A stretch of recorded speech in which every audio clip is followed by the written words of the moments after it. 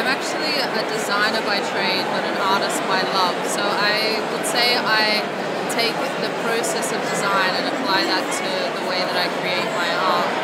And then I'm also Aboriginal, so I have a very strong base in Indigenous awareness. So whenever I bring a, collaborative team together, which is what I like to do, is collaborate with people. Um, I always have that as sort of this base. So yeah, that's where I start my project. Okay, so what, what are you most looking forward to in this conference? What am I most looking forward to? I actually saw one of the things I was most looking forward to today, which was um, I don't think I'm going to say her name right, but it was Genevieve Bell. Ah, she was great. I was yeah, there. she was amazing. She was so good, so much better than I even thought she was. Could She spoke be. so fast She was just notes. like every word was like ten steps already in her mind, already going brilliant. through. Amazing. I'm studying design anthropology at Swinburne at the moment, so I really wanted to see her as one of the key speakers, and yeah, it blew my mind. It was amazing. Yeah, really, really great. That's great.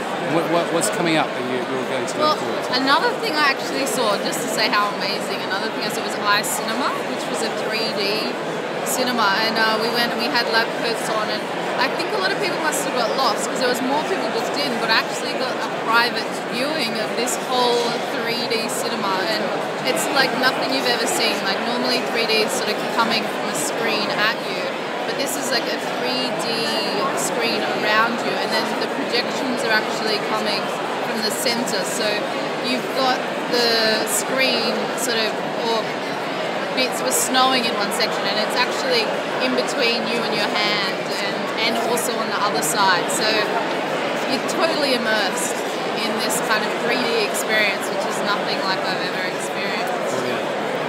So, uh, you're an artist yourself. Yeah. What, what, give us uh, a lowdown on, on a project we've just done.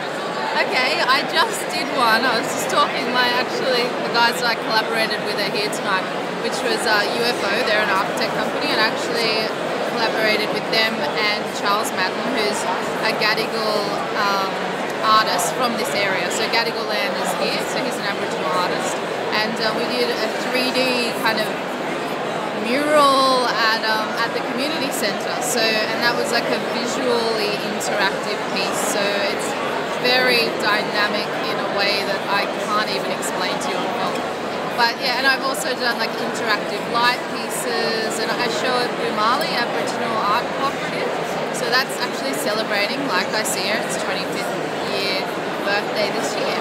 So yeah. What, what did you think of the opening speeches?